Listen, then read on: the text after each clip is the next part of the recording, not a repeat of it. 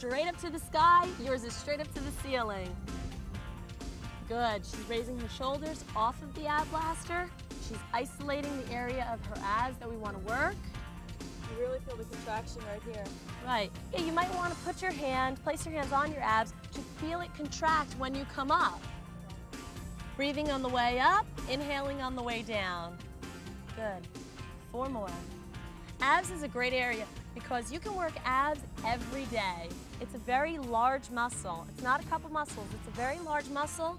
I, I do work my abs every day because I'm really concentrated on this area. I haven't forgotten you, and I haven't forgotten you. I just want you to get used to this position because this is the basic beginner ab crunch. Is that it? Can I, can I stop now? You can stop and release your knees. What you want to do is sit up and you want to contract movement. Chin. This just gives you a little extra support behind your neck. With your hands across your chest, it's a little more beginner. But I find I like to do it with my hands behind my neck because I need a little extra support on my neck.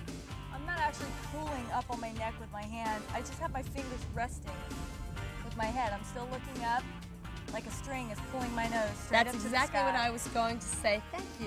She's so good. I like this. And lift it.